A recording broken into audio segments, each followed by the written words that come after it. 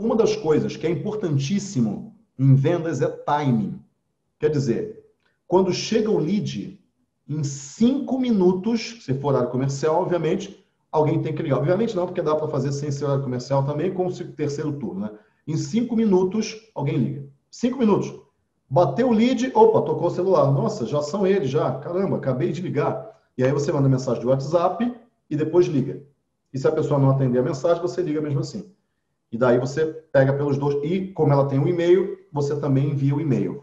Oito pontos de contato, que a gente chama.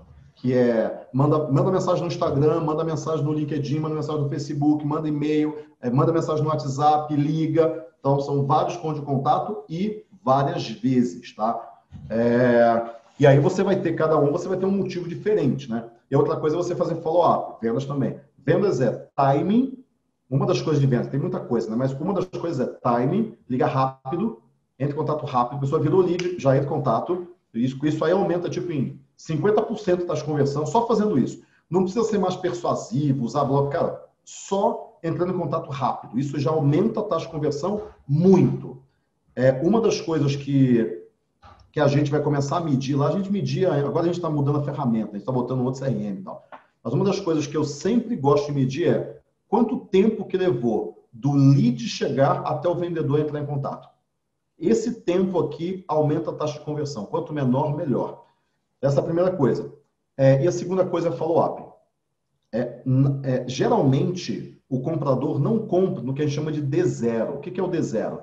Ligou, comprou. O dia zero, no mesmo dia ele compra às vezes no D mais 5. O nosso ciclo de vendas é 5 dias. O cara demora, em média, 5 dias para comprar. Alguns demoram 10, outros demoram 2. Mas, na média, demora 5.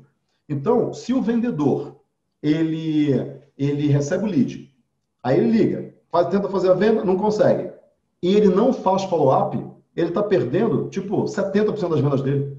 Porque boa parte das vendas é feita no follow-up. Porque, inclusive, no follow-up você tem remarketing também porque você faz a integrada, né? Você faz tudo isso integrada, de maneira integrada. Quer dizer, você tem um follow-up, você manda um e-mail e você tem remarketing. Porque se esse cara bateu na página de, de cadastro, você colocou um pixel nele e a partir daí você faz remarketing com campanha no Instagram, já que você tem o, o carimbo, né? Você tem o carimbo na mão dele. E daí ele começa, você começa a se tornar mais familiar para ele.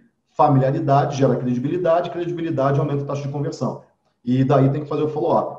Quando que o follow-up não acontece? Quando o vendedor tem lead demais. Mas é o seguinte, o vendedor num dia recebe 100 leads, consegue ligar para 50, mandar mensagem pelo menos.